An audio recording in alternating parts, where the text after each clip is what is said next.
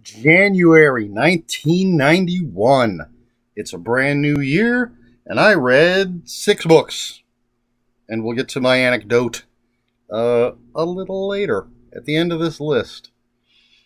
So let's just jump right in. The first book I read in January of 1991 was Never Deal with a Dragon by Robert N.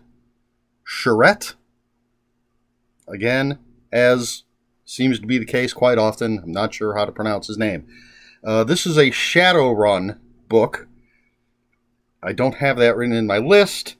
This is before I finalized how I was doing things. Nowadays, I would have Shadowrun written down. So, uh, all I have is the title, Never Deal with a Dragon, the author's name that I can't pronounce.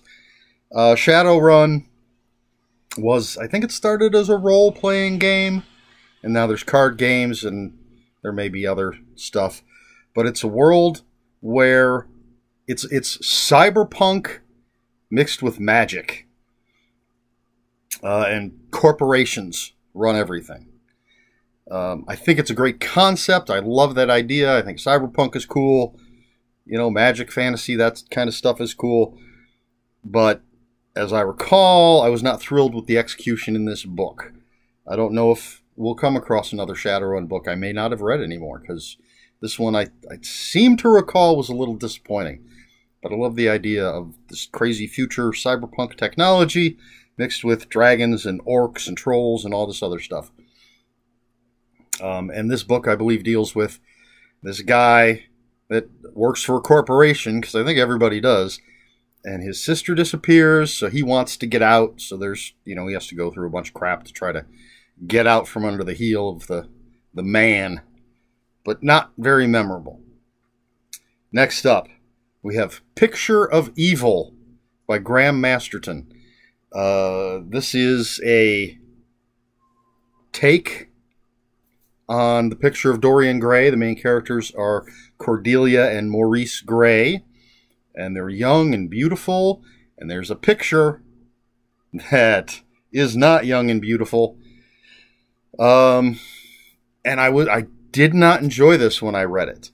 If I ever find another copy, I may give it another try because I've enjoyed everything else that I've read by Graham Masterton.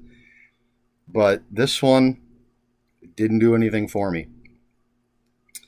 Then we have On the Eighth Day by Ellery Queen.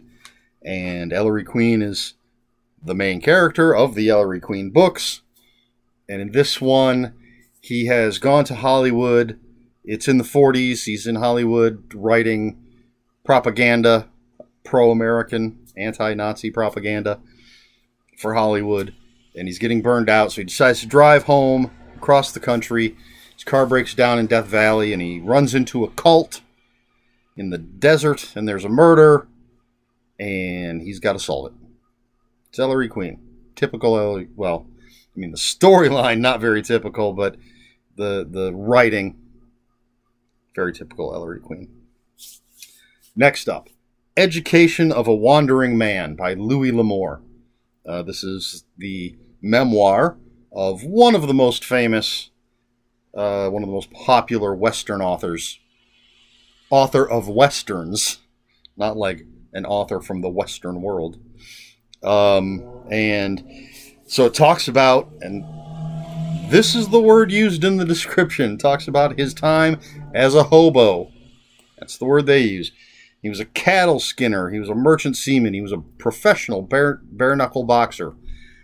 Um, I mean, these were some. These were the old days when people did all that sort of stuff.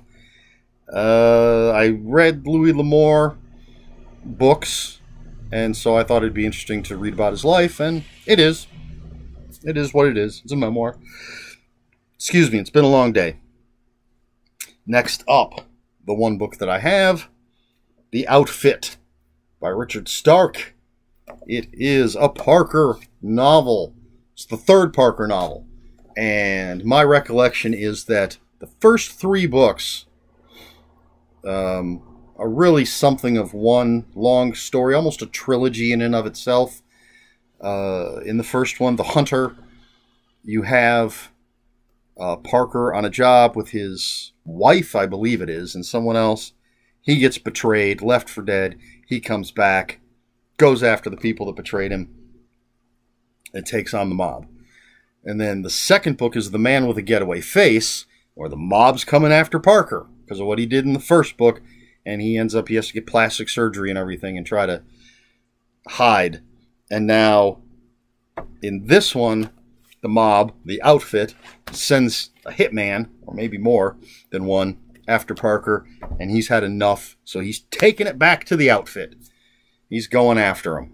It's on the back. It says heist after heist after heist. Um, so, been a while since I've read all three. And as I said, my recollection is they kind of each one flows into the other. Um, I don't recall. I don't think after this that it's like that. I mean, it's a series. There's character progressions, all that stuff. Things come back, but the first three are the three that really sort of could have almost been just one big book, if I remember correctly. But it is. It's a Parker book. It's great stuff. Have the entire series because it's that good. And then finally, the last book I read in January of 1991 is The Wonderful Wizard of Oz by L. Frank Baum. Do I have to tell you what this is about? Um, I will say the book is quite different than the most famous movie, the Judy Garland musical movie. Um, a lot of different characters and, and areas of the Land of Oz that are not in the movie uh, the most memorable one to me is there's these porcelain doll people. I believe, if I remember, if I'm remembering correctly. Uh, the reason I read this book, here's my little anecdote. I was at Bowling Green. It was a new semester, and I was taking one of my classes was fantasy literature. Now, the fantasy in fantasy literature was very generic term. Um, it it wasn't. We weren't just reading Tolkien and that kind of stuff. As a matter of fact, the only book that would fall under what most people would think of as fantasy is The Wonderful Wizard of Oz. Uh, as I go through these months, we'll cover the rest of them. I, there's only one book in the class that I didn't read. We'll get to that when we get to the penultimate book of that class uh, because I couldn't find an affordable copy. And I tried to cheat because I believe every book we read, except for the one nonfiction book, was made into a movie, has been made into a movie. And so for that final book, teasing you, I, tr- I had seen the movie. I tried to use that as uh, my basis for what was going on in class, it did not go well because there were major differences between the book and the movie. Um, yeah, loved that class. Got to read some great stuff. The first of which was The Wonderful Wizard of Oz. And uh, you'll find out about the rest as we move along through the months.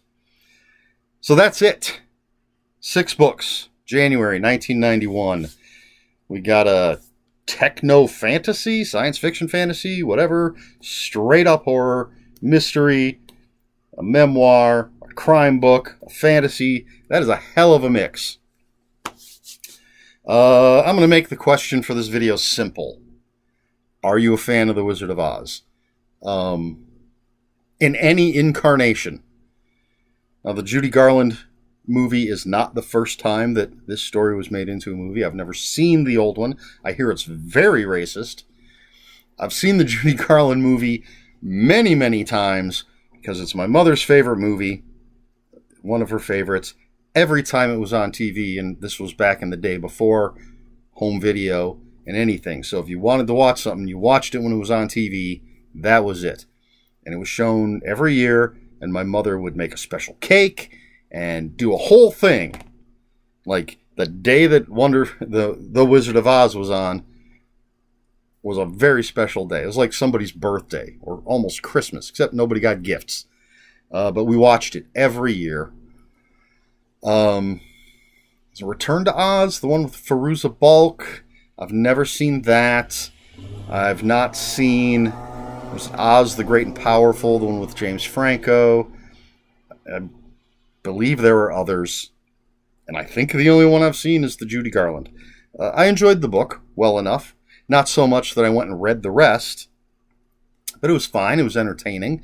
I did like that it was different than the movie. Uh, but what about you? Have you seen any of the movies? Read any of the books? What are your thoughts on The Wizard of Oz? There you go. We'll talk about it in the comments. And speaking of comments, if you have any comments, questions, or corrections, please put them in the comments below. Comments are open for spoilers. Just post a spoiler warning. We try to be polite here on my channel. Please like, share, and subscribe. And if you care to follow me on other social media, my Twitter is at Ronin5757. My Instagram, where I post pictures of books, comic books, board games, and fuzzy animals, is Erik Smith 5757. That's Erik with a K, E R I K S M I T H 5757. That's all I've got for you this time. So until next time, read more books.